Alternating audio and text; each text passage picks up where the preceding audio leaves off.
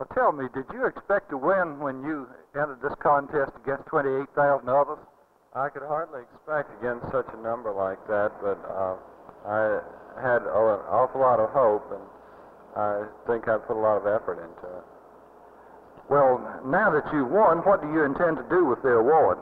I'm going out to the California Institute of Technology next year in Pasadena, California, and take a course in nuclear physics.